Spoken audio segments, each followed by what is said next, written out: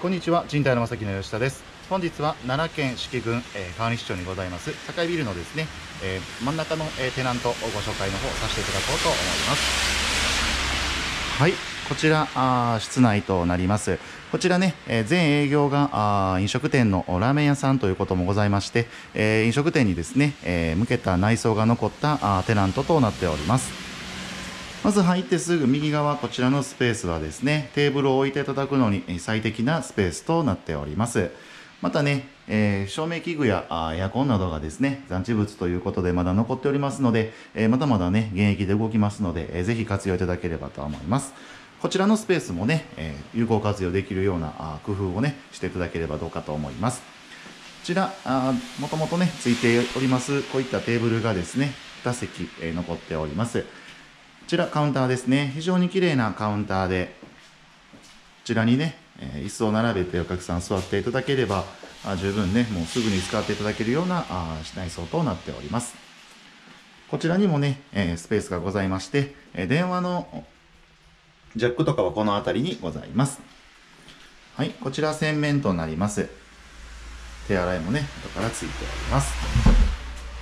こちらおトイレですね。ウォシュレット付きで大変綺麗なおトイレが設置済みとなっております。はい、こちらのスペースがバックヤードとなります。はい、こちらね、そうですね、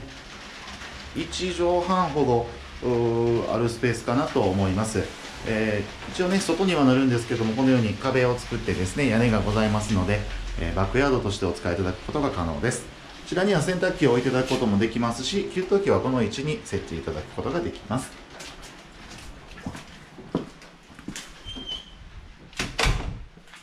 はい、続きましてこちら、厨房内部となります。厨房器具等はですね、すべて、えー、撤去済みとなっておりますので、えー、お持ちのですね、厨房器具を設置いただければと思います。グリストはこの位置になりますね。えー、水道、ガス関係の立ち上がりはすべて、えこのように残されております。こちらにございますのがね、少し見にくいですけども、ダクトとなります。ダクトもね、えー、全営業があ飲食店ということもございまして、非常に大きめのものをご準備しております。はい、えー、いかがでしたでしょうか。こちらのテナントなんですけども、非常にですね、えー、川西町の中でも目立つ場所にございまして、アクセスのいい物件となっております。詳細の方は私ども賃貸のまさきのホームページにてアップしておりますのでそちらの確認の方も併せてお願いいたします。奈良のおもてなし奈良心。賃貸のまさきでは皆様の新しいビジネスを全力で応援いたしております。ご視聴ありがとうございました。